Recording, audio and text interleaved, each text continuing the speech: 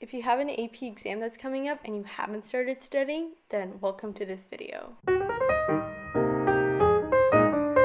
Hey everyone, welcome back to my channel. Today I'll be providing some last minute study tips for your upcoming AP exams.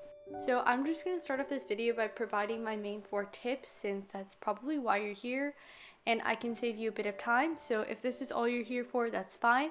But for the rest of the video, I will be explaining these further and going into more detail, and I will also provide some additional tips to help ensure your success. So my first tip is pretty obvious, but it's to check the College Board website and make sure you understand how your AP tests will be administered and know how long you have to complete your exams and just things like that. My second tip is a little specific to the 2020 exams since they are going to be open note, but it's to choose between digital and handwritten notes.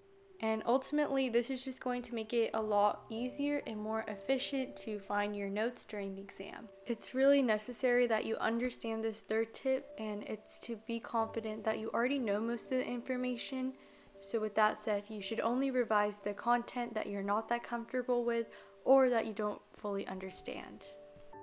And finally, my fourth tip is to take practice tests because this is what's going to be closest to the actual exam. And I would personally recommend taking no more than three exams because it's honestly just going to overwhelm you. So those are my four main tips. If you'd like to continue watching, I'll be explaining the rationale behind these and just providing more additional tips to help you do well on your exams. So I don't think I need to go in depth about the first tip, so I'm just going to skip that. So my second tip is to decide between digital and handwritten or hard copy notes. It's really important to choose one because it'll make it a lot easier to find your information.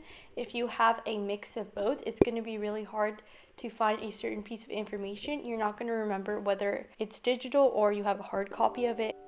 I mean, the last thing you want to do is waste a bunch of time looking through your notes when you could be using that time to actually write your exam. So now I'm just going to explain the pros and cons of the digital and handwritten or hard copy notes.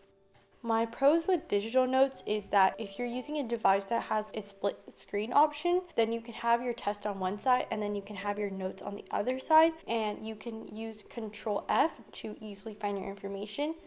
There aren't really any major cons with this. I think the only con would be that if you are planning to look up information on the internet during the exam, it might take up a lot of time because to be honest with Google, when you search up a question, it never actually gives you the answer you're looking for. Now on to handwritten or hard copy notes. My pros with these is, at least for me personally, most of the notes I've taken in class are handwritten, so I think that typing them up is super redundant and it takes up a lot of time, especially since we are on a time crunch here. It can be possibly easier to organize information. I feel like with handwritten notes, there's more options and there's more variety of ways that you can organize your information one con with this is that it can be like really hard to find information especially since you don't have the control f tool and just a bunch of papers lying around on a desk can be super messy and super unorganized which may make it really hard to find information. My third tip was about being confident that you already know most of the information. I mean, if you think about it, you have been taking an AP class for almost an entire year, so I feel like at the very least, you at least retain at least 50% of the material even if you don't think you do, you probably do know most of the information. So I would really only revise concepts that you're not really familiar with or that you struggle with a little. There are a ton of resources that you can use. If you go on Google and if you just search up the information, there are numerous free study guides out there that you can easily learn from. There are YouTube videos. You can also ask your teacher if you want to. You know, there's just so many resources. And my last tip would be to take a bunch of practice exams.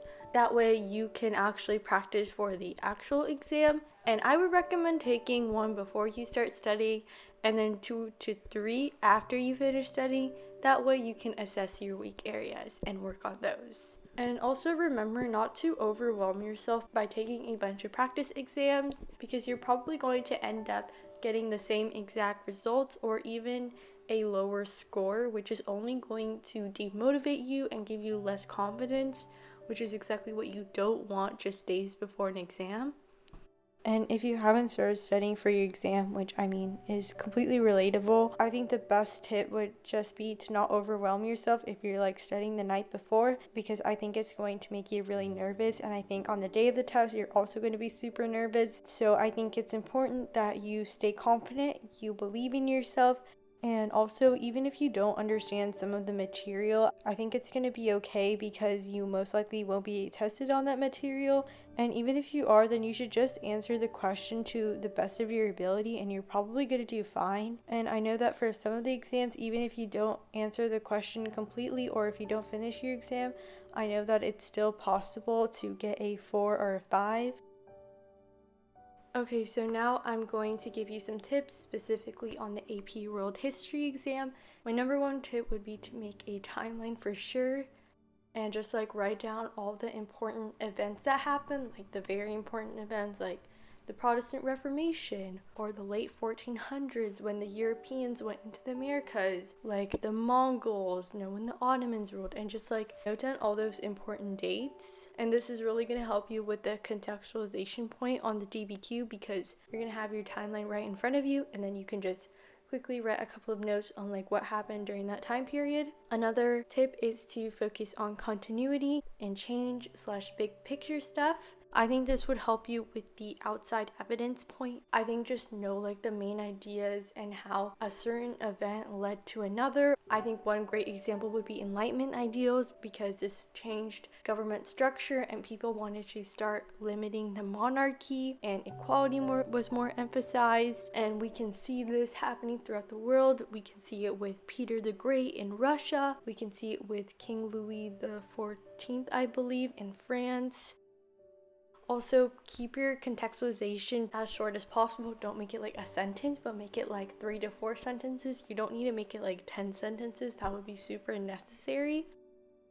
Also, I think that if you feel pretty weak on like the analyzing the documents point or the sourcing point, then it might be a good idea to source an additional document or to analyze an additional document. That way, if one of your sourcings or one of your documents don't get counted, then you have the other one as a backup. Also, I think it's important that you don't focus on the complexity point that much because that's really hard to get. So instead of trying to focus on the complexity point, I think you should focus on trying to get another more easily achievable point. Like if you struggle with sourcing, which I know I definitely do, try focusing more on getting the sourcing point rather than the complexity point. So those are basically all the tips I have for today. I hope you enjoyed this video and I'll see you guys later.